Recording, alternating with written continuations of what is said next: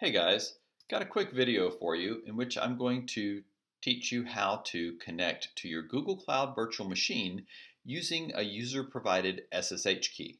Now, the way we normally go in and connect to our virtual machine is to use the SSH option here.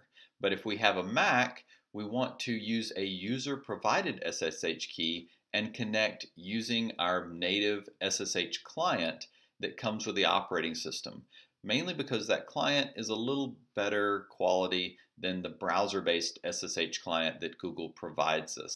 The first thing you need to know is if you're going to connect using your native SSH client, you need a key pair created that you can share with Google and that key pair is what allows you to authenticate yourself when you try and connect. That way no one else can connect unless they have a copy of your private key. Now the way we go about this is we begin by launching the Terminal app. We go to Applications, Utilities, and Terminal, and we launch the Terminal app. Now in the Terminal app, we're going to enter an SSH-keygen command. Now I'll leave a, a copy of this command down in the description of the video as well as a link back to the Google documentation where I found how to actually write in this command into the terminal. So it follows this basic format. SSH-keygen is the program we're running. We're generating an RSA formatted key. We're saving it to a specific file name and we're including in the key a specific username. So what I'm going to do is I don't want to use generic username. So I'm going to use rthackston for my username. And I need to save it in a file that will help me know by name what that particular uh, key file is used for. So I'm just going to name it rthackston also. So once we type that in, we can go ahead and press enter. It generates the private public key pair and then it asks if we'd like to enter a passphrase. Uh, it's a good idea to have a passphrase on it. It's like a password on your key. I'm just going to go ahead and skip it for this demonstration. And then it generates your key and shows you that it has been saved in a particular folder. And if I scroll up, I can see that the private key was saved in .ssh rthackston, and my public key was saved in .ssh rthackston.pub. Now the .pub is what we share with everybody. The, the just plain file without the .pub is our private key and we must protect that. So now that we have a private public key pair generated, we need to give Google that public key.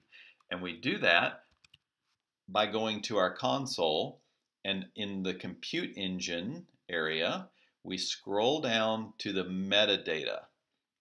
Now, by adding a key in here under metadata, every one of our virtual machines will get the key. So if you want to do a key per machine, there's an alternative method you're going to have to go through, which I'm not going to cover in this video. But here, we go to metadata and SSH keys, and any key we add here will be assigned to every server that we create within this billing group. So we click Add SSH Keys, and here it wants us to paste in our public key. We go back to Terminal. We use the More command to see that public key file. You're not going to use your private key, you're going to use the one with .pub on the end of it. And the more command will output it to the screen. And what's important here is that you note that it begins with SSH-RSA and it ends with the username that you specified. So we're going to copy everything from the SSH-RSA all the way down to the end of the username. So we copy that. We go back to the cloud. We paste that in. And again, take a moment, verify that it starts with SSH-RSA. You didn't lose any characters there. and it ends with the full username that you gave, no extra characters after it. We're going to hit save. It's going to save the SSH keys, and then after a moment, those keys will propagate to our server, which means we've put it into the Google Cloud console, but it actually has to get copied out to the virtual machine. So we may need to give it just a moment. And there you go. The message pops up saying it successfully saved the keys. Now, if we go back to terminal and we access the server using the SSH command, we should be able to get into the server. Now, the command for SSH follows a specific format. We type in SSH space dash I, which is our identity, and we are identified by our private key. So we type dot, SSH slash the username or file name we used, in my case, R. Thackston. We're not providing them the public key. They have the public key. We're going to provide them with our private key when we log in. Then we use that same username, R. Thackston, at, and then we put in our IP address. We can find our IP address back here in the console if I go back up to VM instances.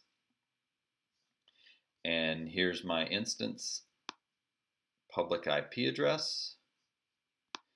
I'm going to copy that.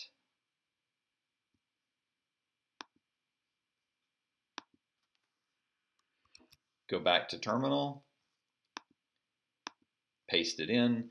Make sure you don't copy and paste like an HTTP address on there. We just want to put in the IP address. And then we press enter. And we are successfully logged in. I will also leave this SSH command format down in the description of, of this video. So there you have it. The basic steps are we create a public private key pair. We upload a copy of the public key to Google in the console. It propagates down to our virtual machine. We then use our private key with the SSH command to access our server.